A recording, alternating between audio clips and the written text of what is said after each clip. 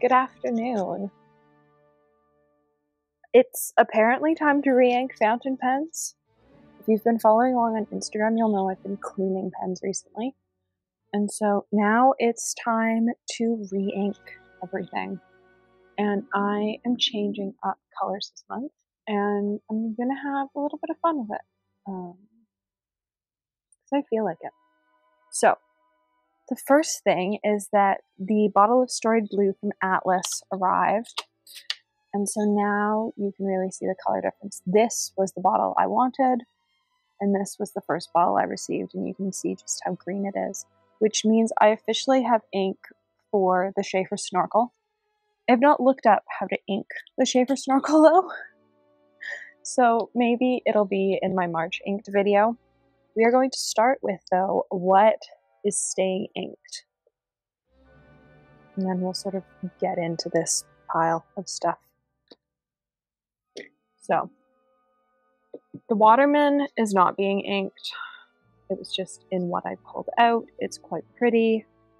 I still haven't found the right gray. So, if you've got a gray ink that is celluloid safe, let me know. I'm still looking for suggestions. It's got like this gold trim on it and I need suggestions. I'm stuck. I haven't found anything I liked. I bought Earl Grey and it's too dark. So I need better suggestions. But the Sheaffer, on the other hand,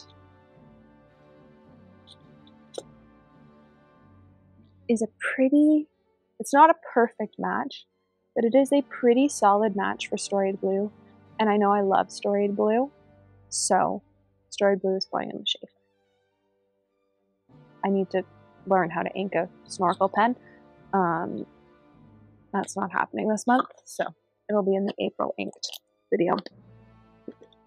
This pen has already been re-inked this month once. This is my cheap pen from Amazon that just gets black waterproof ink in it. Apparently it also has a giant air bubble. But it gets my black Sailor waterproof ink that I use for sketching in it. It's great. It's a little bit thicker. I wish it was a Japanese extra fine, just because I tend to use really, really thick, thin fine liners when I draw. Then we have the other four pens that are currently inked. Will all of them be staying inked? I don't know. I think this book. I think Celadon Cat is in the purple. I didn't write it down. Celadon Cat's in a medium. Of course, I didn't write this down. I want to say Celadon Cat's in here. It is. I don't know that I love it in this pen. I didn't use it a bunch, so it's going to get cleaned. This is Madame Mulberry. It's staying Madame Mulberry, though it does need more ink. This is labeled as being Malibu, Malibu Blush, but is really... Uh,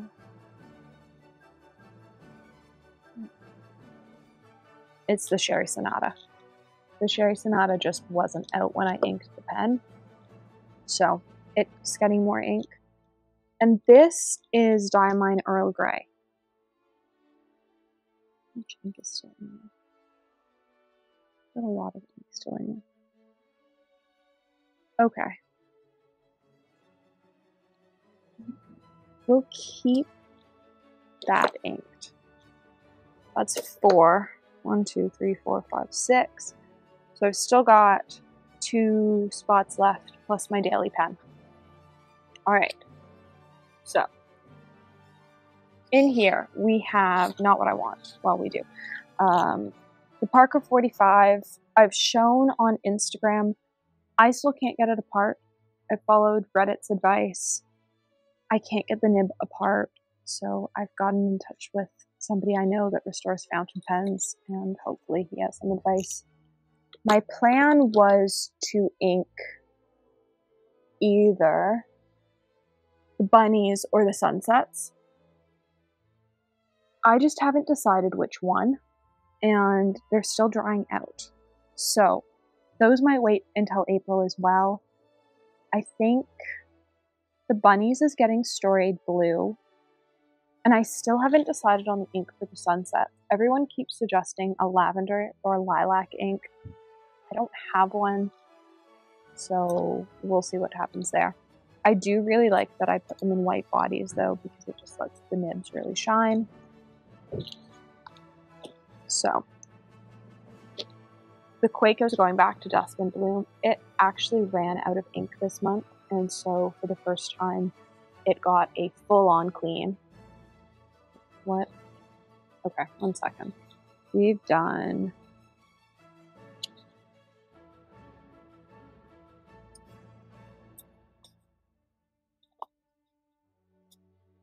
Fluttering Hearts, Kaweco,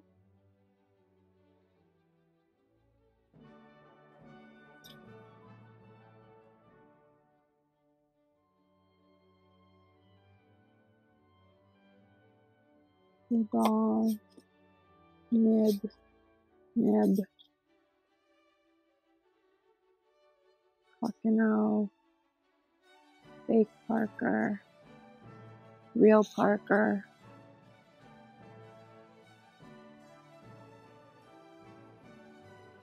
Do I not have a real Parker in red one?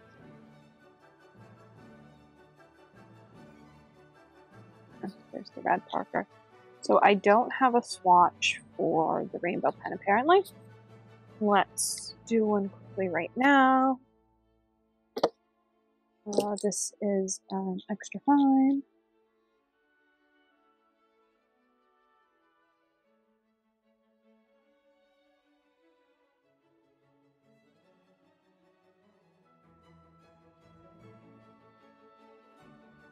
And is on and ink is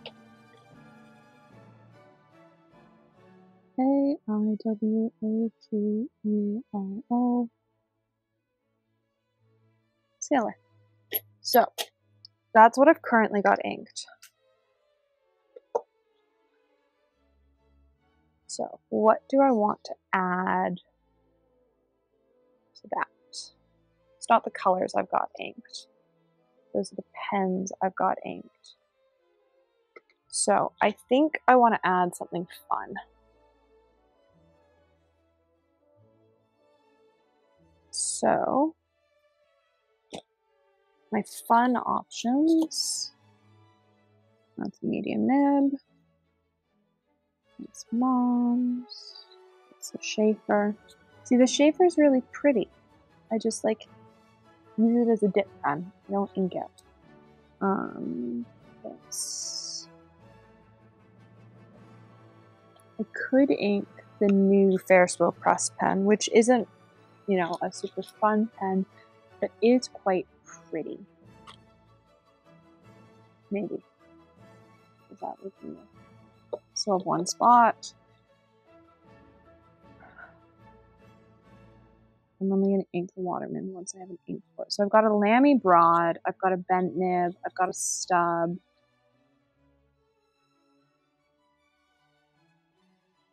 Right, fun nib options. I have it's like Pokemon cards, but fountain pen edition.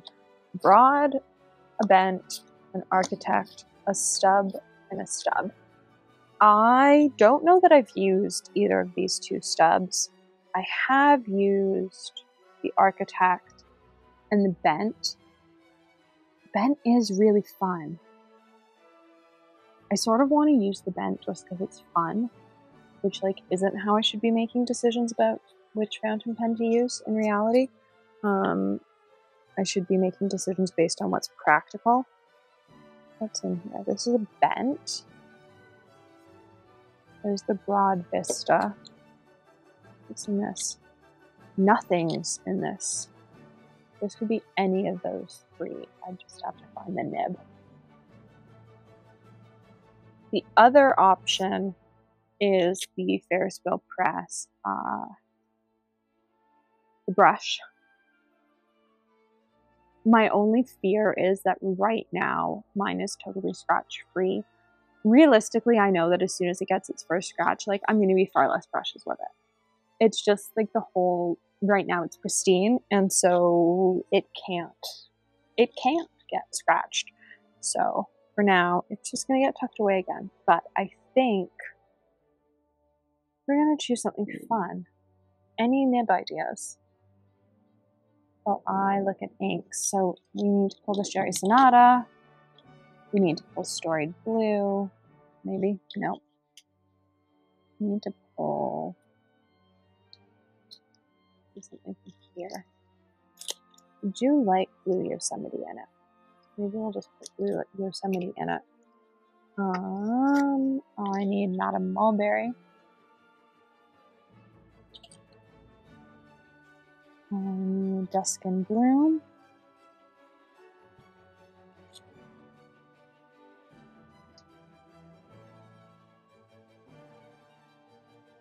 Um, Earl Grey. You've already been re-inked in black. Maybe I will ink you up some more at the very end.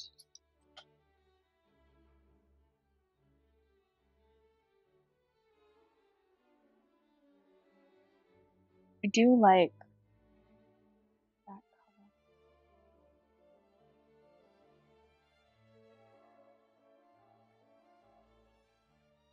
Alright, whatever I ink up is getting storied blue. I think. So I'm not, it's not like a shimmery month. I'm not feeling the shimmers right now. I'm feeling that like muted palette. Sure. So, what fun nib do I want? I think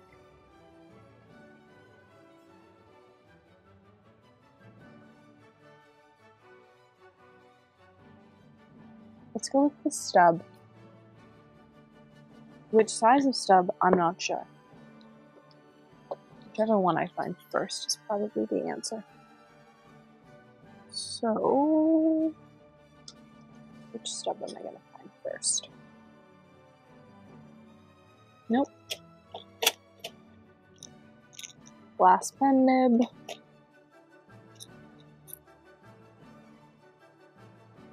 loose nibs.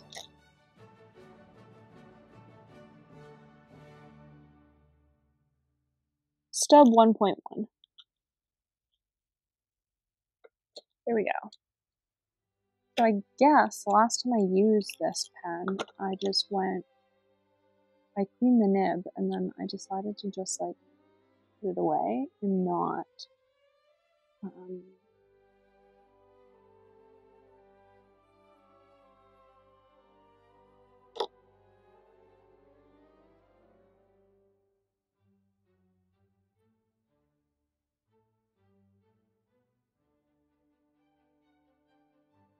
maybe I didn't clean it because like there's still little bits of ink.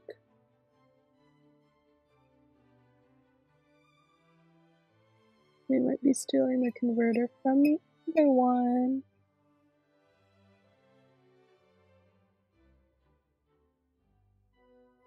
Oh, alright, you need to be cleaned. Where's the other one? I just had it. Oh, there it is. Alright. Are you clean? Not clean. You are clean. Great.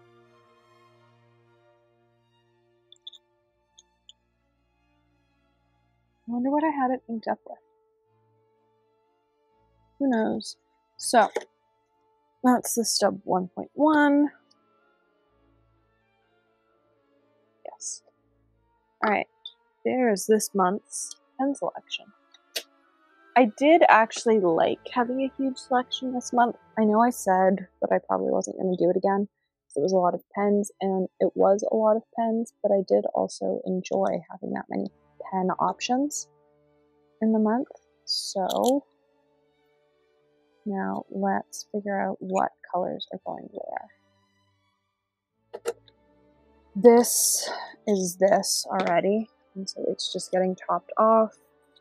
This is this already. This is this and just needs a little bit extra.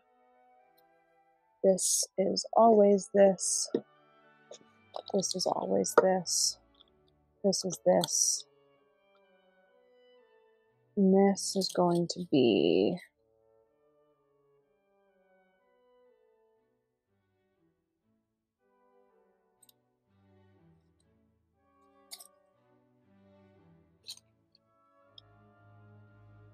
this, I think. I think cotton candy blue, which is a nicer match, is too pale. Yeah, I'm gonna go with Blue Yosemite, which I think looks quite nice and medium nib. So there's this month's color palette. Mostly Ferris wheel pressed, as always, some Diamine, some Sailor. Let's get into inking things up. I'm going to start with. I'm to start with this. Mostly because I dislike inking from the little things.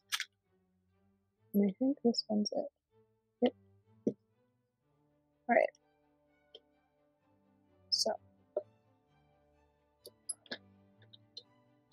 Let's go. I haven't actually inked this one. I've only used it as a dip. I think it only arrived last week. It might arrive the week before. Um, quite, I don't know. I like their pens.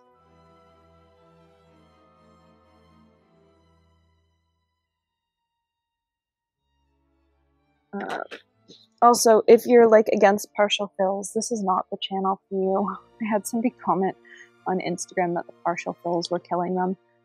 This is not the channel if you hate partial fills. I am the queen of partial fills because I like changing my colors up constantly.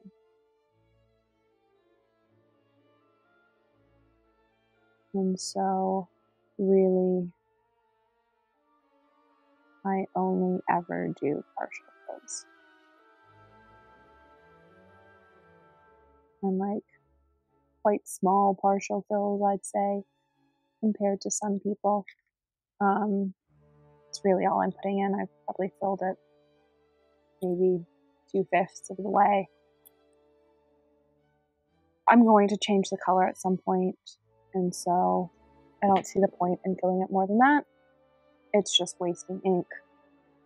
In my case, if you're this person that uses the same ink all the time, that's not a as big of a problem. There are some pens that I'm going to fill all the way, like uh, Dusk in Bloom and Madame Mulberry.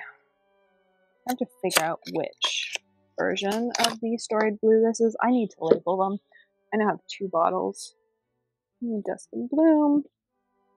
I need Madame Mulberry. I need storied blue.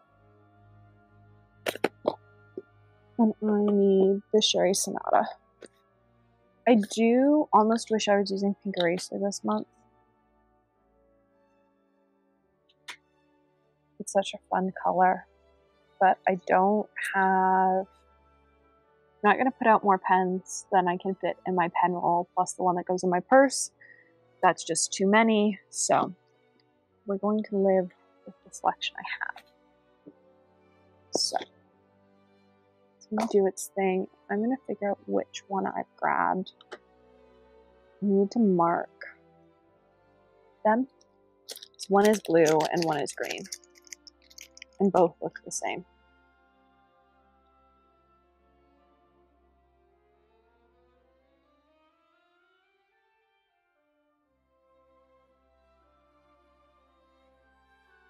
Think that's the blue one. I had to guess. I'd say that's the blue one. So we are going to fill this up. Again, it's going to be a partial fill. in this lovely new stub nib that actually isn't new. I've had it since November.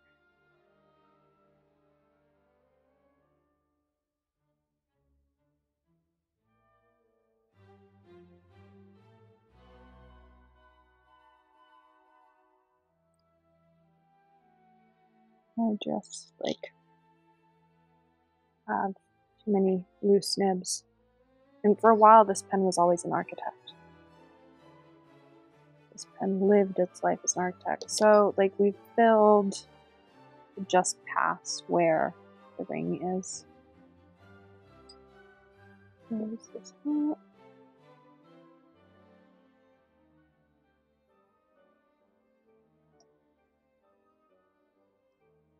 I will say that's one thing I really like about the Ferris wheel press bottles is their lids. As somebody with hand issues, I like their lids. They're easy to open and close, or easier to open and close. So I'm close this up and stick the cap on. I'm Just gonna stick the cap on this I don't make a bigger mess. Then we have, I've used this. Storied blue, blue goes before storied blue, green. I love this Rolodex. Best find to date from my thrift store. We have Madame Mulberry. Nope, we have Sherry Sonata. I can read. Sometimes. So when I inked this pen last month, this was actually Malibu Blush. But I knew that it wasn't staying Malibu Blush, which is why I put a very light pink ink in it. So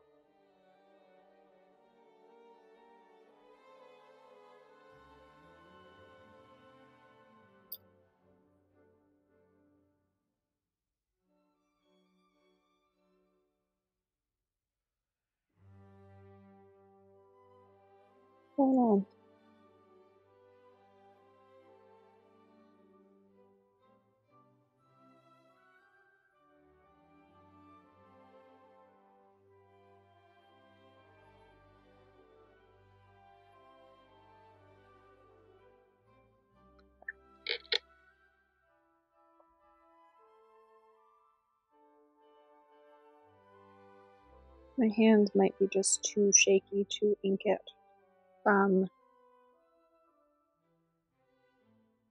the container while trying to like hold it together.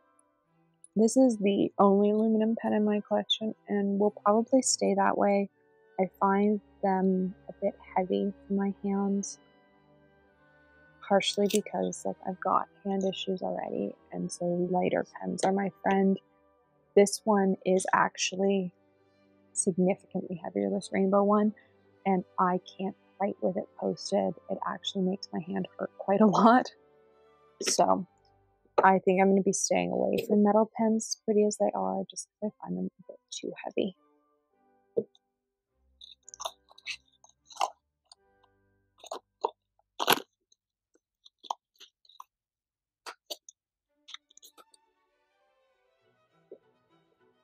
Then we have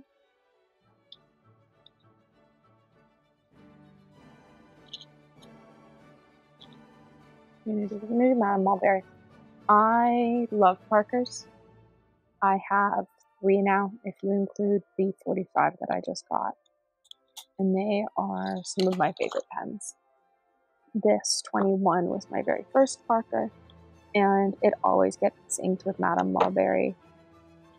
Part of having a traumatic brain injury is really, really liking routine. And for me, that means that some of my pens always get the same ink every single time I ink them, because if they don't, it throws me off. This Parker is one of those pens where it always gets Madame Mulberry because when it doesn't, it throws off my brain a lot when I reach for it and it's a different color. So, this Parker always gets Madame Mulberry and is oftentimes my purse pen, especially if my Kaweco is out of ink or I just like want a different color to write with, it will become the pen that goes in my purse. Which means we have one left to really fill up. Because I don't know that the other Parker needs ink. This Kaweco, though, is absolutely empty and for the first time ever has had a full clean. Um, it's been ink since Scriptus and I've just been refilling it. But when it ran out of ink, middle of this month, I decided to actually clean it properly. And it did totally throw off my routine to not have my preferred pen in my purse with me at all times. And so I'm going to do better about making sure like it doesn't run out of ink and like get a bit more streamline of the cleaning process. I'm not great at cleaning pens. I tend to forget I'm doing it, wander away, get distracted. And by the time I go back to them, like it's days later. It's how I've ruined a couple dip nibs, but at least with fountain pens, you don't have to be quite so precious with forgetting about them, especially if you're just cleaning them in water. But I can get a pretty much full fill. Oh, there are some air bubbles. Whatever. I told myself I was never getting a Kaweco, and then I got this one and fell absolutely in love with it.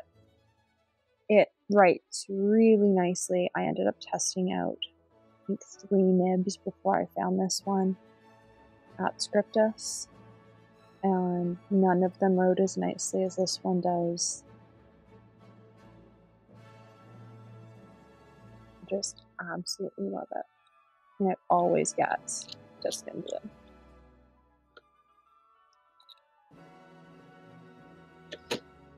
And then we have the two sort of newer pens to my collection. We the Black Parker, which was a gift at Scriptus, and it has Earl Grey by Diamine in it currently. I don't know that I love it. It's a bit too dark, and I don't know that it. No, I don't think it needs to be re-inked. So it's going to go away. I don't actually know what nib size it is. I just know that it's smaller than my other Parker. So I think one's probably a medium and one's probably a fine. But I haven't actually taken them apart.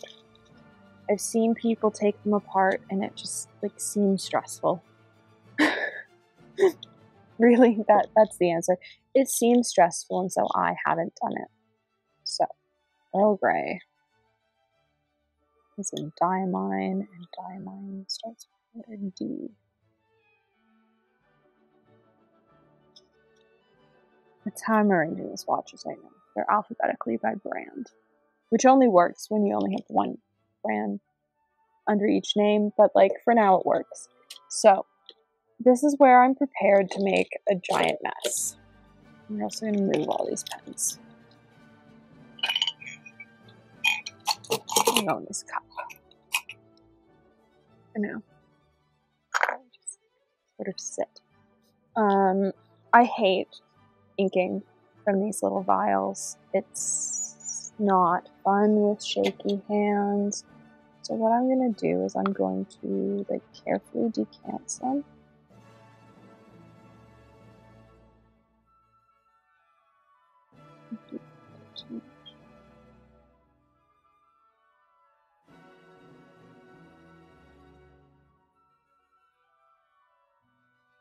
You might be going there wondering, didn't you just get a bottle of this ink from Atlas? Yes, but I have a full sample. I, I guess I now have less than two full samples. I had two full samples left, and I wanted to use them up before I opened the new bottle because that seemed responsible. Um, so now we're here. We're here, and my very shaky hands are probably going to be my downfall.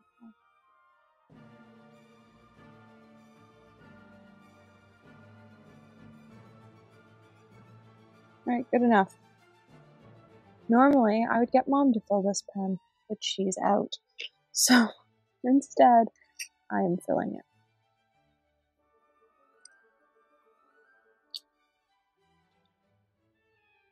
I would say that this pen probably gets clogged more than any of my other pens. Not surprising, it's a waterproof black ink, but I would say probably about twice a week it's got a clog. So it does get like undone and flushed more than any other pen in my collection. So I'm not super worried about it. Plus, I use I got a cheap pen so that I didn't have to be worried if I wrecked it because it was not something nice in my collection. So let's look at the colors for this month. We have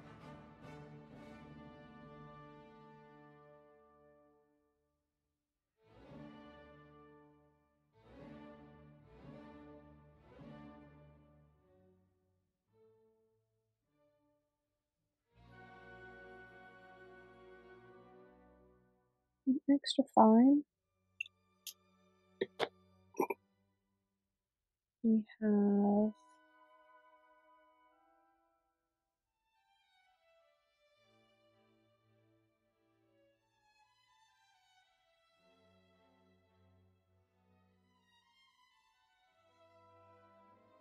medium.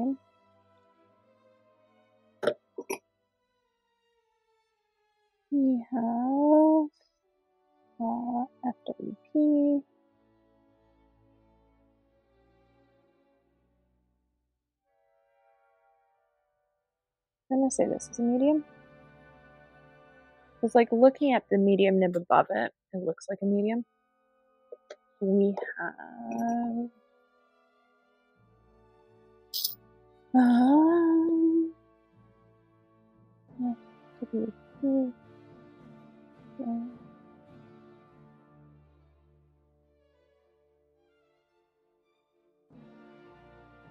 fine.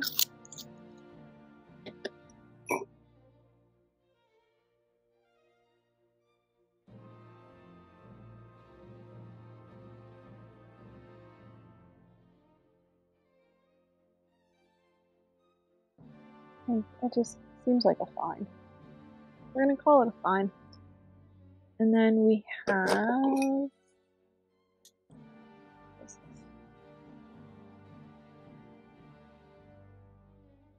uh, FWP blue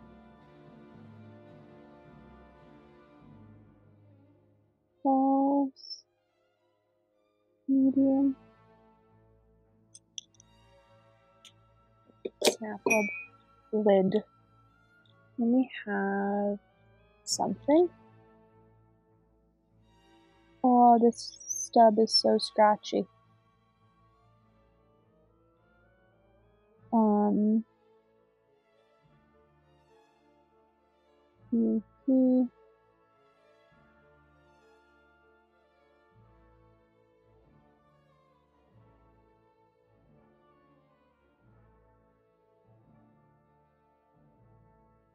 Mm, I don't know how long this stub will last this month. And this is my March 2024. I would say it's a pretty. This is the last color selection. I want to say it's really similar. Find this page? Yeah, that was last month. That was January. Oh, I guess we did have the bent nib inked up in January. And this is this month. Like, I, I stay in the muted colors. I like them. They make me happy. So, no big surprises this month. Um, don't know that I like the stub nib. So we'll see how long that sticks around. Other than that, though, pretty similar color selection to last month. uh, you've got muted ink that are still like colored color suggestions. Let me know because clearly I have a type. Um, and so we need some suggestions. I do have Peter Moss. I could have inked something up in green. Maybe next month. Maybe next month we'll get a green. So thanks for watching. Thanks for hanging out. Um, let me know what's in your fountain pens currently because I love watching ink up videos. Like they're just they're so satisfying to see what people are using, and it's just always cool to see what people are using in their own writing practices.